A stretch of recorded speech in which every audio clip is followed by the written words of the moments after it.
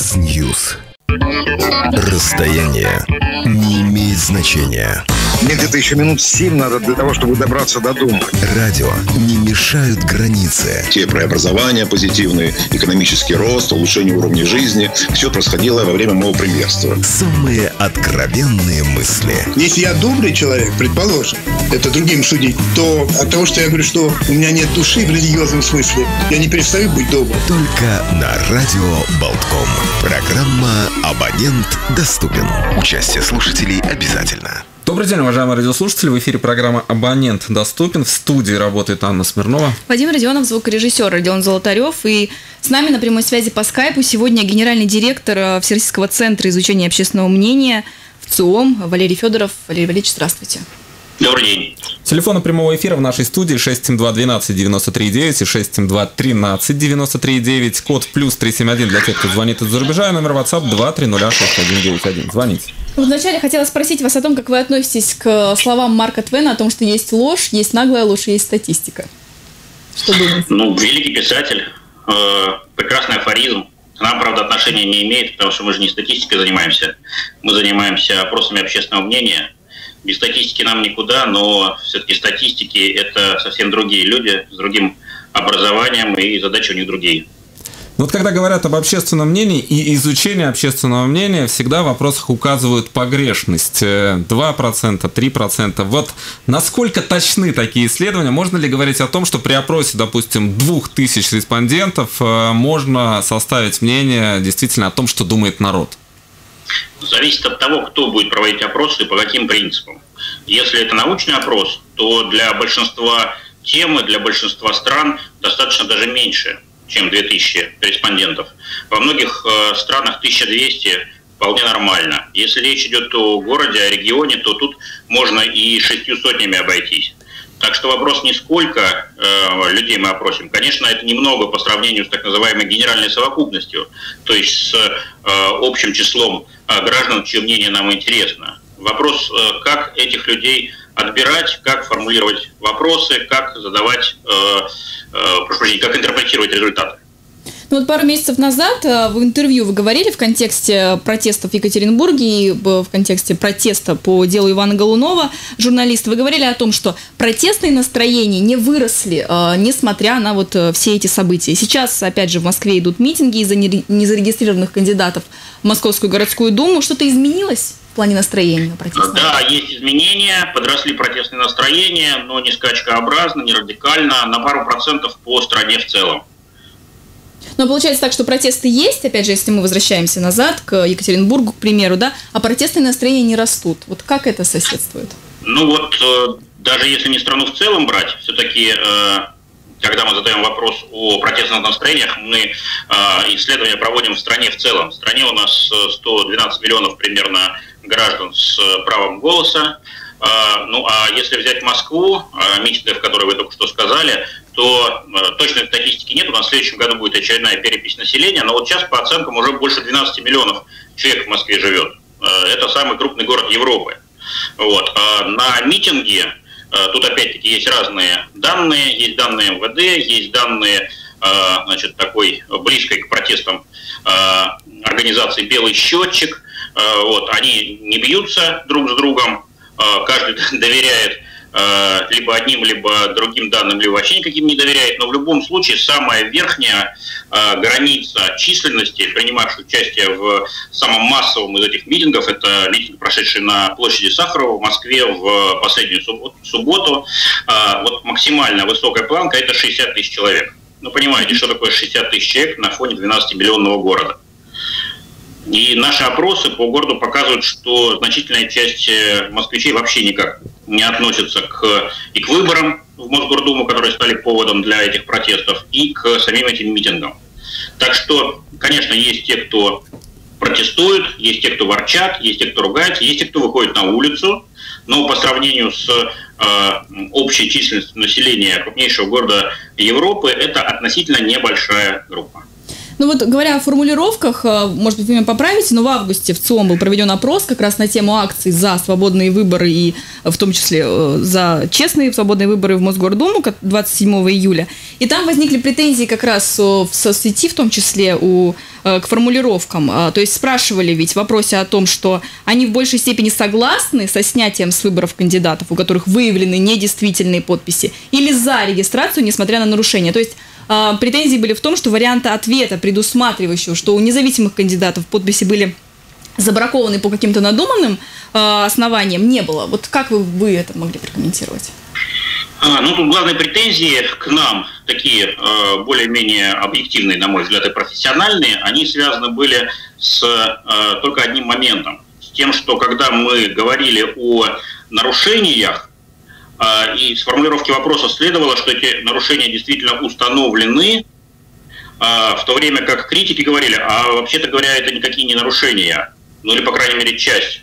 Э, это не нарушение, а это злая воля э, со стороны Мосгоризбиркома. Э, и вот это действительно довольно серьезный аргумент. Мы сейчас у себя внутри разбираемся, значит, с тем, как вот такие формулировки возникли. Э, и, конечно, будем делать все для того, чтобы наши формулировки были более нейтральны, более объективными и не вызывали критики именно профессиональной и неангажированной. Вот. Ну а что касается Э, критики политизированы, ее, конечно, больше, и она идет в основном э, не со стороны тех, кто разбирается в э, изучении общественного мнения, и не со стороны тех, кто заинтересован в установлении реального результата. Она идет со стороны сторонников протестного движения, кому эти цифры, разумеется, не понравились. То есть давайте не забывать об интересах, давайте не забывать об эмоциях, давайте не забывать о настроениях, сейчас они все разогреты, Э, по сути, идет такая информационная война локального масштаба.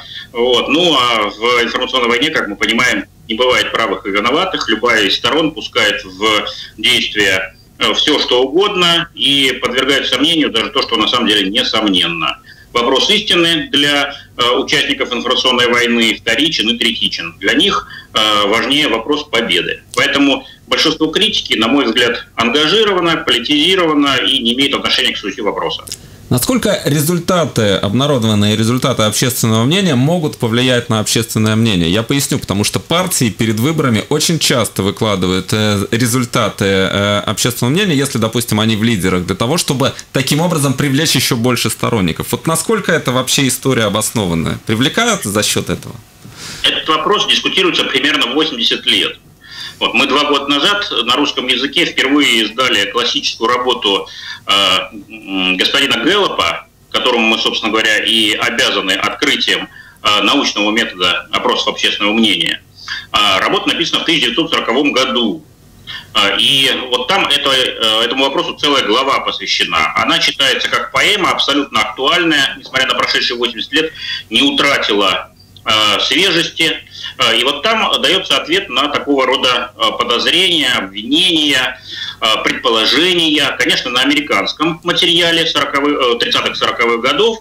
И вот э, Гэллоп э, с цифрами в руках доказывает, что если и есть влияние на мнение избирателей, на их выбор со стороны сказать, нашей исследовательской индустрии, да, со стороны полстеров, то это влияние пренебрежимо невелико. То есть 1-2% по оценкам Гэллопа максимум избирателей может изменить свое мнение о том, идти ему на выборы или не идти, и за кого голосовать под влиянием опубликованных средствами массовой информации результатов опроса общественного мнения.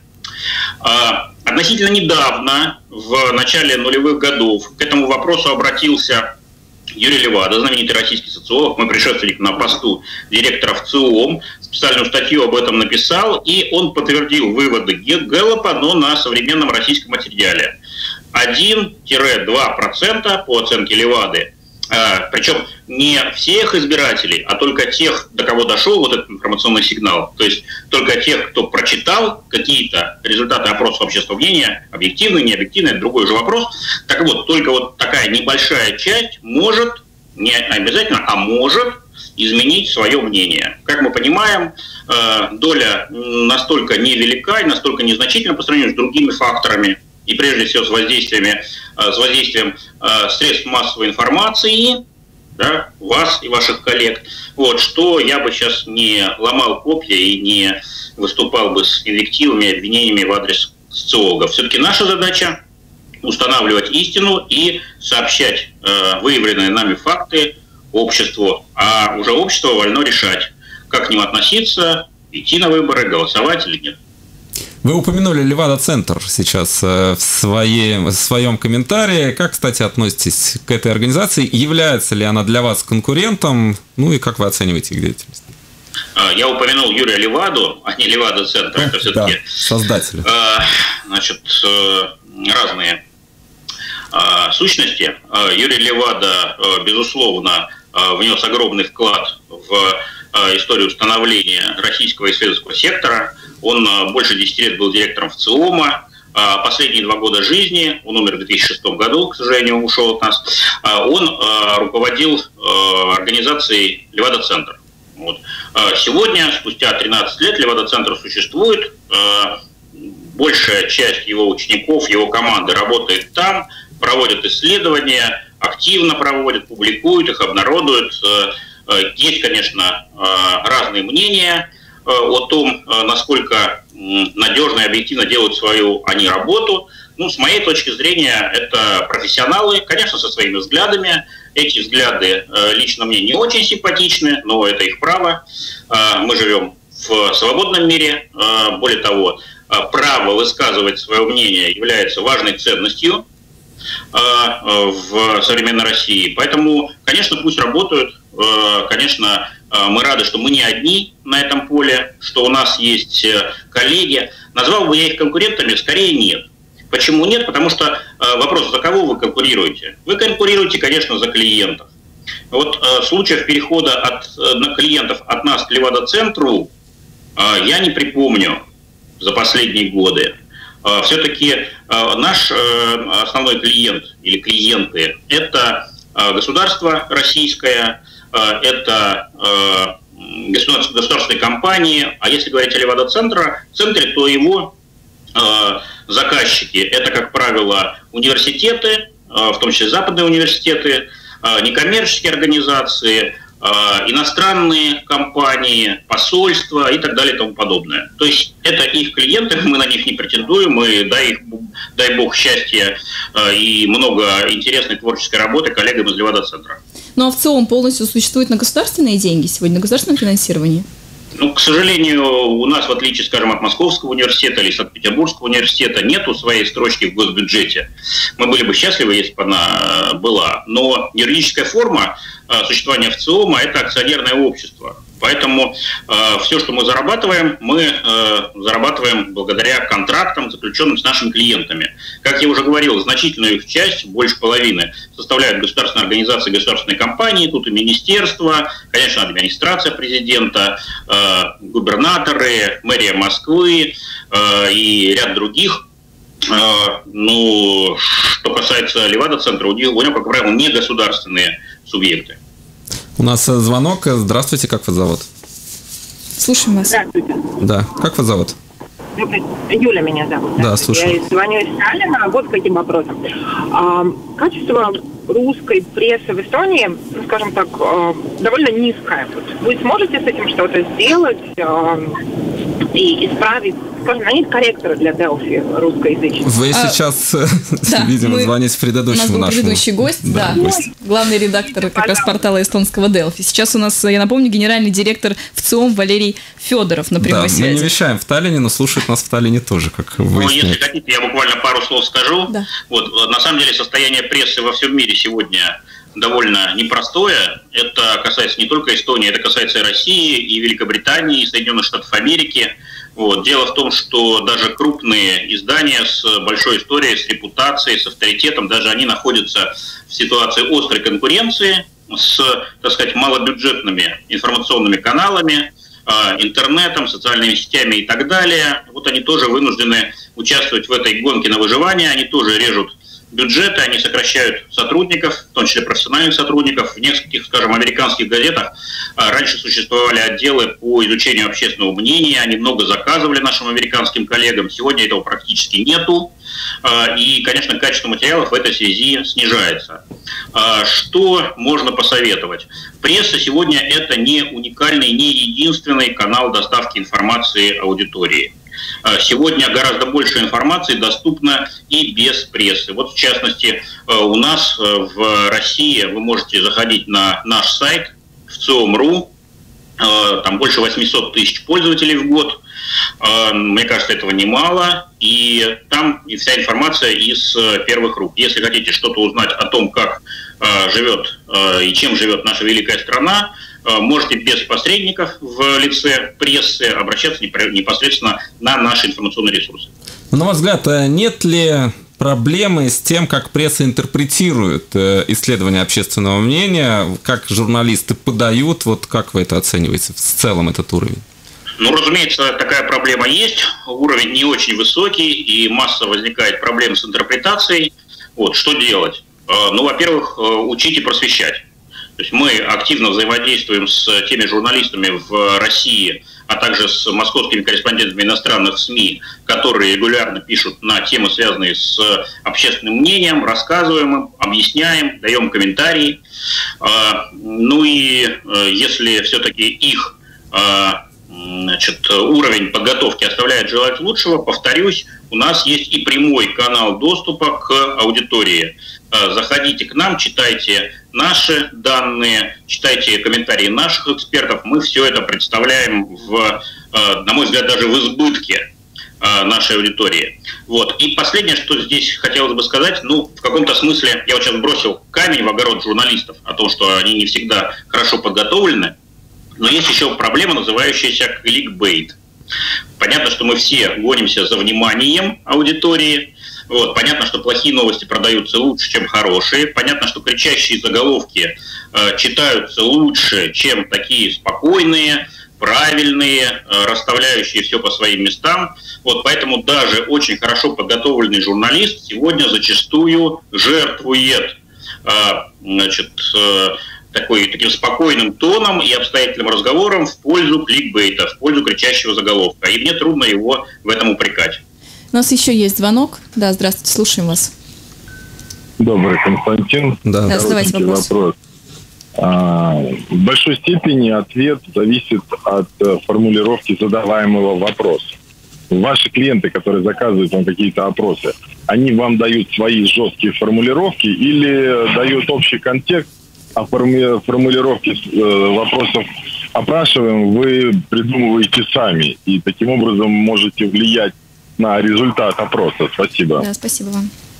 Э, э, ну, я добавлю, не только от формулировки вопроса зависит ответ, он зависит еще и от метода э, интервью. Можно лицом к лицу общаться, э, можно э, по телефону брать интервью. Сейчас э, пробивает себе дорогу новый э, способ интервью в, э, через интернет, чаще всего в соцсетях. И э, есть прямая зависимость между э, методом, который мы используем, и наши коллеги, и ответами. Это действительно так. Вот. Есть и другие зависимости. Например, даже время суток иногда э, влияет на ответы. Э, и, конечно, будний день или выходной день, в зависимости от этого тоже ответы могут различаться. Вот. Но формулировка, разумеется, тоже имеет значение и большое. А критика в наш адрес зачастую связана именно с тем, что многие наши формулировки кажутся а, слабыми, а, Значит, кто-то даже говорит о манипулятивных формулировках. Вот дискуссии по этому поводу, безусловно, есть, и они будут продолжаться. Сложно, очень сложно, действительно, найти ту формулировку, которая была бы, с одной стороны, понятна респонденту. Не будем забывать, что значительное число вопросов, которые мы задаем, они вот впервые Э, возникают перед респондентом в момент интервью. Обычный человек не обязан думать ни о протестах в Москве, ни о выборах, которые состоятся через пять лет, и неизвестно с каким списком кандидатов, а мы уже спрашиваем, за кого вы будете голосовать.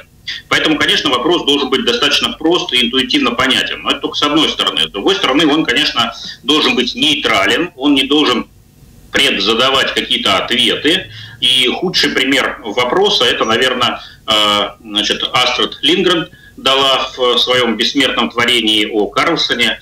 Э, напомню, там звучал такой вопрос. Вы уже перестали пить коньяк по утрам или еще нет? Вот что ответить на такой вопрос? Что не ответишь, вот все равно окажешься дураком. Вот. Наша задача профессиональная, конечно, избегать любыми способами появления такого рода риторических вопросов. Ну и мы стараемся это делать. Иногда бывают у нас, безусловно, ошибки. Мы тоже не семипядей во лбу, вот, тоже не богоизбранные мы, э, значит, люди. Э, но мы стараемся работать над тем, чтобы э, вопросы наши были действительно точные, нейтральные и при этом понятные нашим респондентам. Мы сейчас прервемся на несколько минут, потом вернемся и продолжим. Генеральный директор ВЦИОМ Валерий Федоров с нами на прямой связи, и вы оставайтесь с нами. Mix News. Мы продолжаем. Программа «Абонент доступен» в эфире. В студии работает Анна Смирнова. Вадим Родионов, звукорежиссер Родион Золотарев. И на прямой связи по скайпу с нами сегодня генеральный директор ВЦИОМ Валерий Федоров. Валерий Валерьевич, здравствуйте еще раз. Я снова с вами.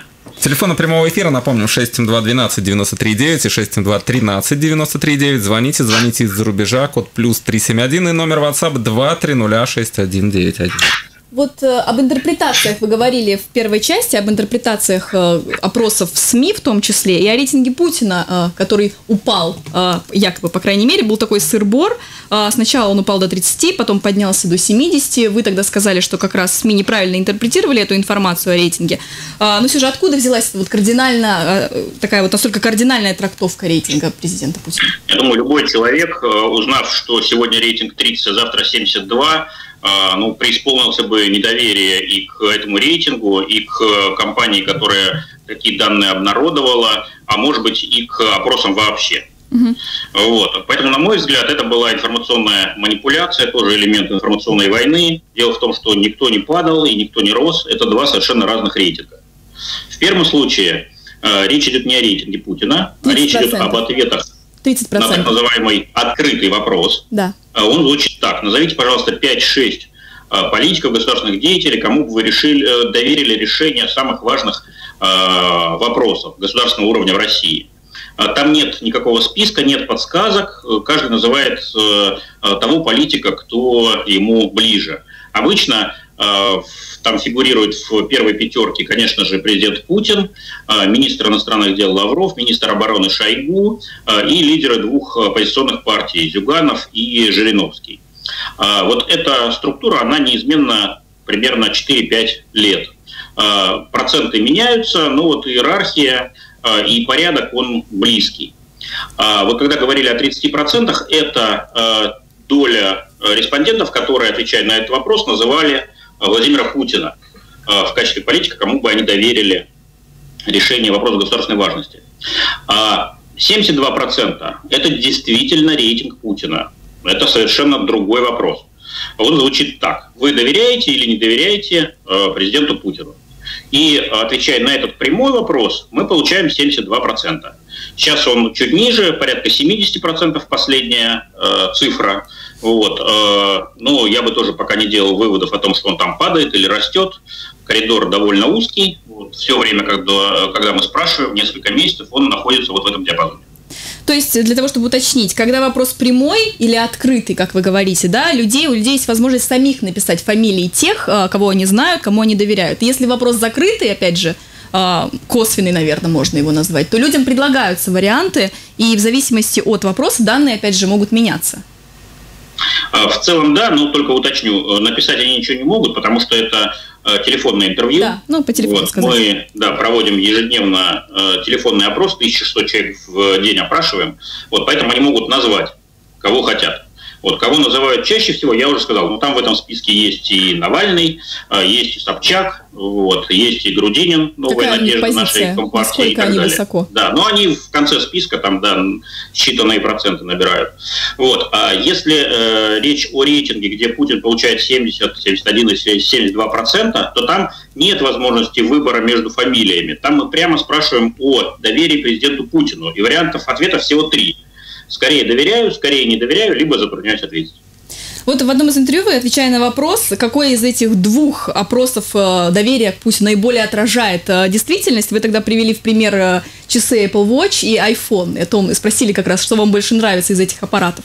Ну вот как раз у меня есть и Apple Watch, и iPhone, и я могу сказать, что, наверное, iPhone для меня более значимый, потому что он, в принципе, взаимодействует с часами, часы не будут работать без него, так как мне нужно.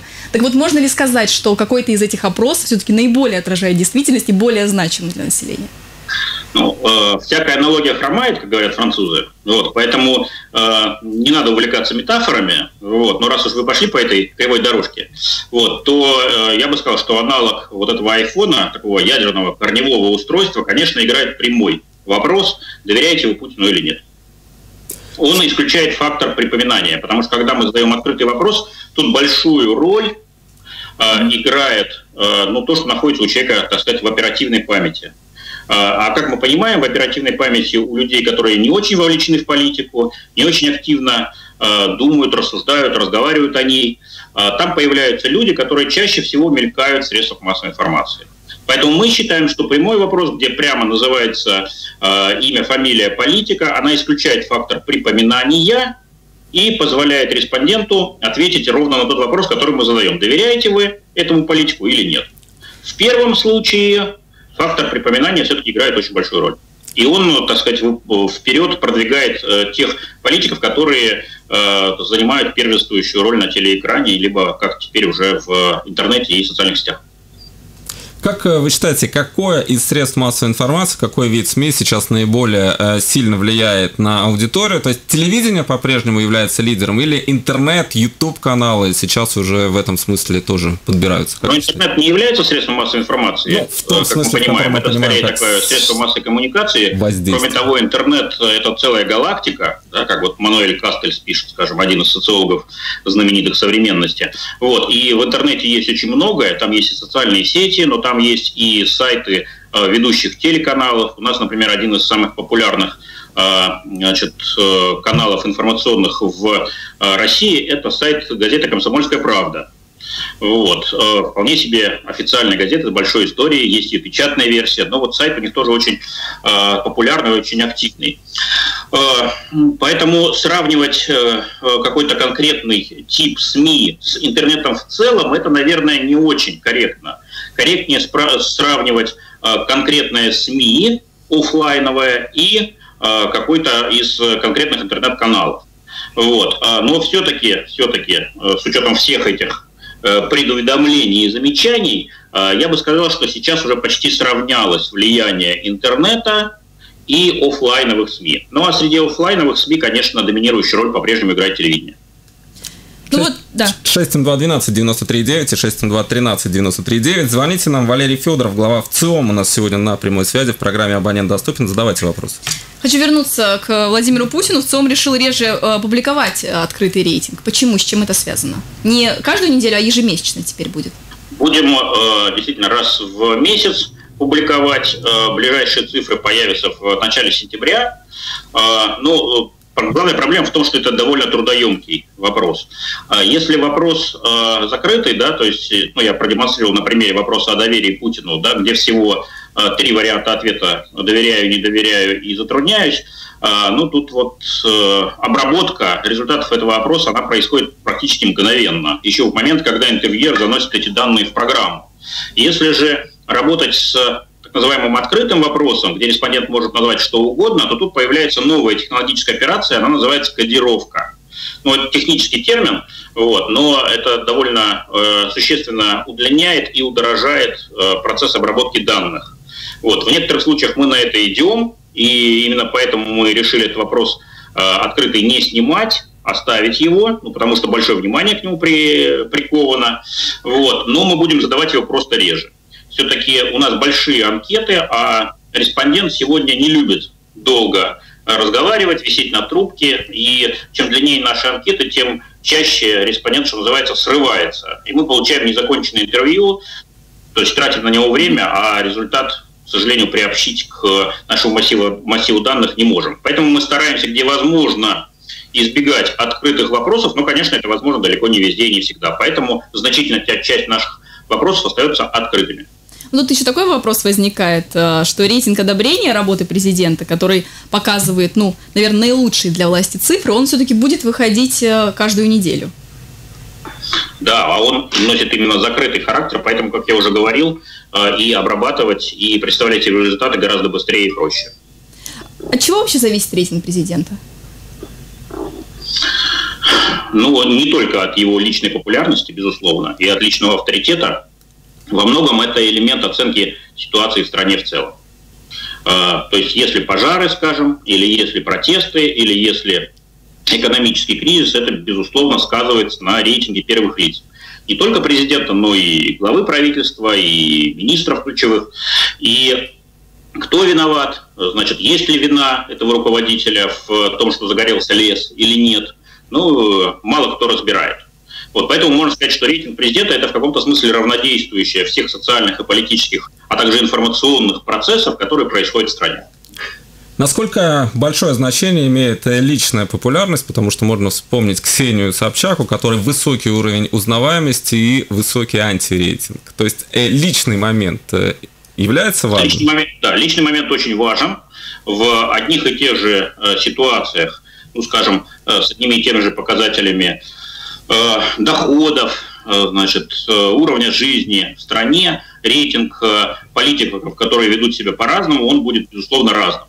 Вот. Все-таки политики – это яркие люди, как правило, особенно сейчас, в эпоху соцсетей, в эпоху массовой коммуникации, когда люди хотят видеть в креслах политиков не людей, застегнутых на все э, пуговицы, так сказать, людей в футляре, вот, а все-таки тоже э, людей открытых, э, искренних, честных, и людей, которые готовы разговаривать с избирателями, с обычными гражданами.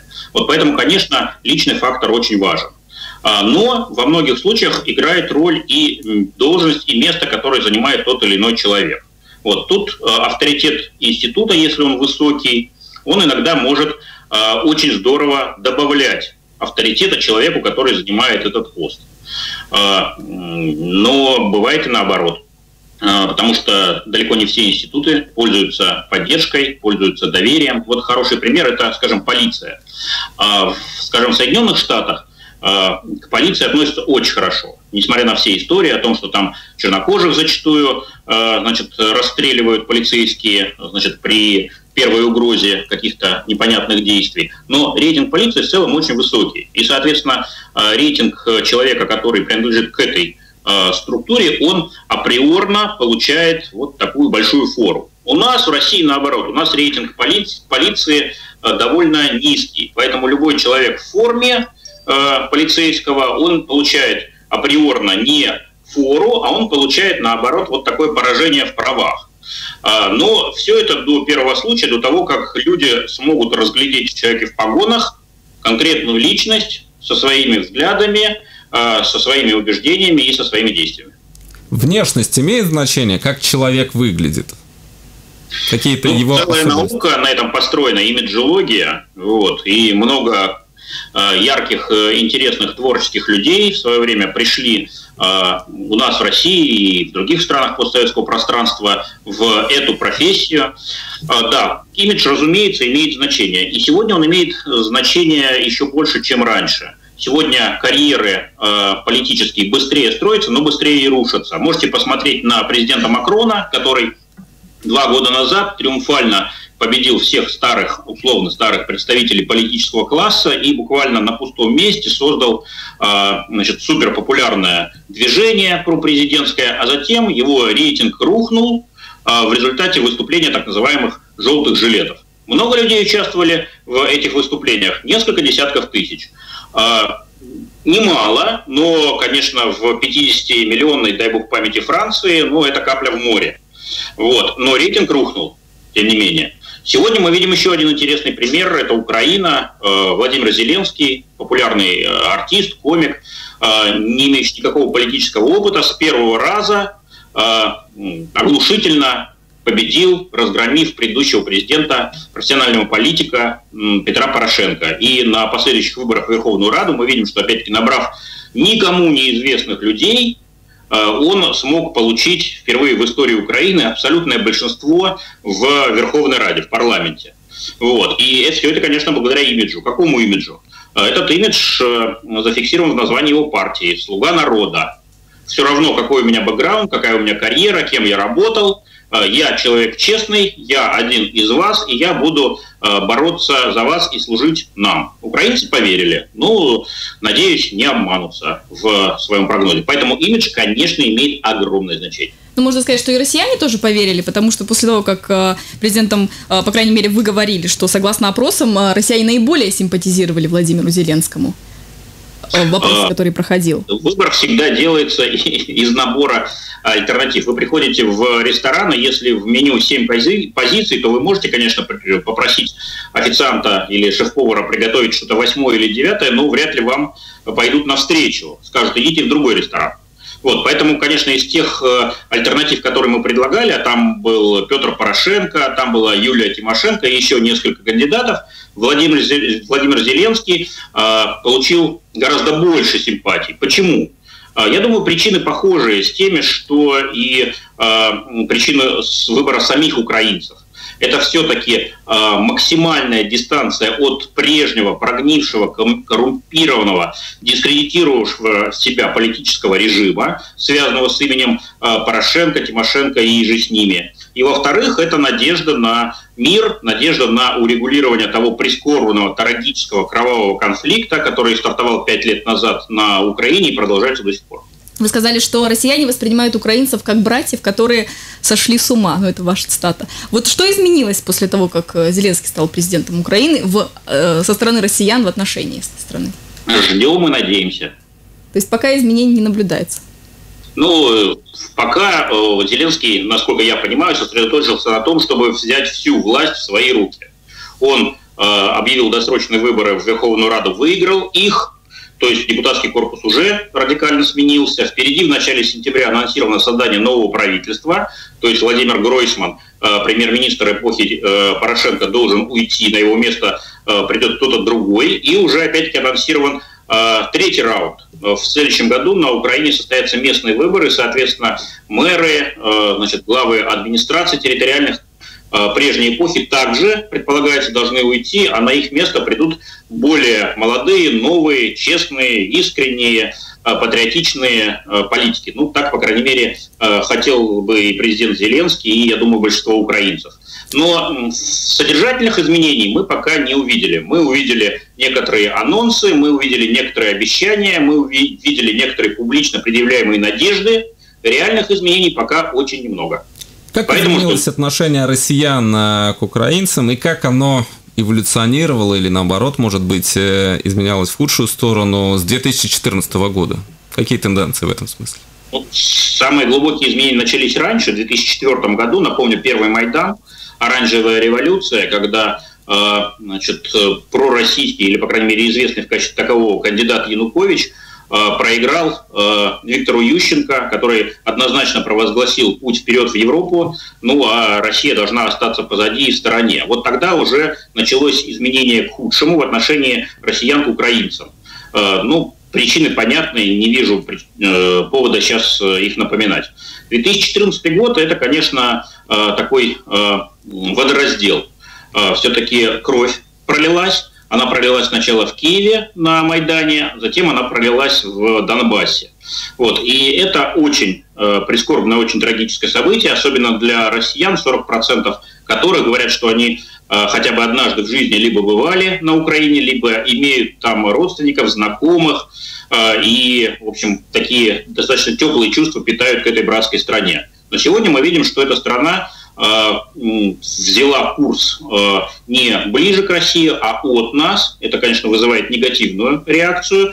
Ну и действия киевского режима, который организовал войну и всячески э, противодействует всем мирным инициативам, отказывается от реализации Минских соглашений, которые сам же и подписал в свое время. Все это, конечно, вызывает сугубо отрицательные эмоции у россиян.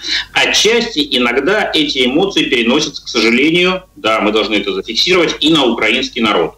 Я надеюсь, что это явление временное, и оно уйдет в прошлое, после того, как э, двусторонние отношения будут разморожены. Говоря про индекс веры, вот если говорить в целом о настроениях в России, э, согласно тоже опросу в ЦИОМ, около 40% молодежи считают себя неверующими. Вот причины снижения числа верующих среди молодежи, это в чем они заключаются или это стабильные цифры? Нет, это нестабильные цифры. На арену выходит новое поколение. Это уже даже не миллениалы, это уже следующая возрастная когорта. В Америке ее называют поколение Z. Вот, это, в принципе, другие ребята. Базовый фактор их э, формирования как такой особой возрастной когорты, особой генерации, а это то, что они с самых молодых ногтей, буквально уже с 3-4 лет, живут в окружении гаджетов, и без них себя не мыслят. Это люди более глобализованные, это люди, ну, я бы сказал так, с дефицитом внимания, вот, то, что раньше называли клиповым мышлением. Это люди, которые не способны Э, долго удерживаться на чем-то одном, зато одновременно могут заниматься несколькими делами сразу.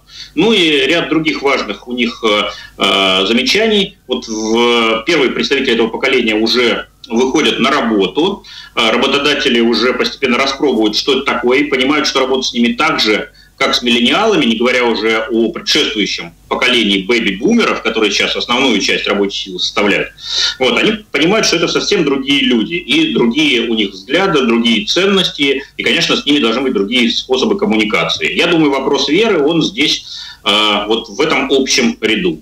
Вы об Америке упомянули, как с США менялось отношение у россиян? А, ну, если по Украине 2004 год мы должны назвать э, такой роковой чертой, то в отношениях с Соединенными Штатами а, эта черта еще раньше была очерчена. Это 1999 год, война в Югославии. А, напомню, значит, тогда очень жесткая реакция общественная в России была на это. Наш премьер-министр Евгений Примаков тогда даже развернул свой самолет. Он в момент начала бомбардировок летел Э, над Атлантикой э, с официальным визитом в Вашингтон. И вот когда он получил эту информацию, он развернул самолет, вернулся э, в Москву. Россия тогда мало что могла сделать, но это был такой демонстративный жест, и этот жест, по сути, превратил Евгения Примакова из премьер-министра, из такого государственного деятеля в Э, политика с большой буквы, в историческую фигуру. Э, просто потому, что ему симпатизировало, его поддерживало огромное большинство россиян. И вот с тех самых пор уже практически 20 лет мы рассматриваем Америку не как честного полицейского, не как э, доброго жандарма, вот, не как лидера свободного мира, а как одну из стран со своими интересами, вполне корыстными, вот, и не воспринимаем их как учителя, Э, как страну, которая э, может показывать нам какие-то образцы для подражания. Нет, у них свои интересы, у них свой путь, у них свои ценности, у нас свои. И идти дышать им в затылок и соревноваться с ними по их правилам мы больше не хотим. Вот вопрос, который, наверное, наиболее популярен э, в российском обществе, конечно, но я задам его здесь в Латвии, хоть нас в Ютубе и смотрят россияне – а, в большинстве своем. Вот люди, а, читая данные опроса в ЦИОМ, они нередко задаются вопросом о том, а почему меня не спрашивали никогда? Как бы вы на это могли ответить? Вот, может, как можно поучаствовать в вопросе в ЦИОМ? Вы оптимист. Вот. И тот, кто это написал, тоже большой оптимист. Дело в том, что мы в прошлом году, я вот тут статистику получил недавно от своих коллег, только мы в ЦИОМ а мы далеко не единственная исследовательская компания в России. Э, у нас около 300 больших и маленьких компаний, более-менее крупных два десятка. Вот мы одна из них. Так вот, только мы опросили уже миллион шестьсот тысяч человек. Представляете, да? Вот. Конечно, страна у нас гораздо больше, все-таки 145 миллионов населения, но все-таки миллион э, шестьсот тысяч человек всего за один год. И это э, растущий темп. Поэтому мы сегодня фиксируем, что уже как минимум половина россиян Э, хотя бы однажды в жизни участвовал в том или ином опросе. Нашем или каком-то маркетинговом опросе, или в опросе в интернете. Вот. С одной стороны, это очень хорошо. Э, люди более-менее понимают, что это такое, не боятся этой процедуры, не всегда бросают трубки. А с другой стороны, это не очень хорошо, потому что эффект новизны, эффект интереса исчезает, и возникает э, обратный эффект рутины. Вот что человек получает от того, что он поделится своим мнением с нами? Ничего материального он точно не, не получает.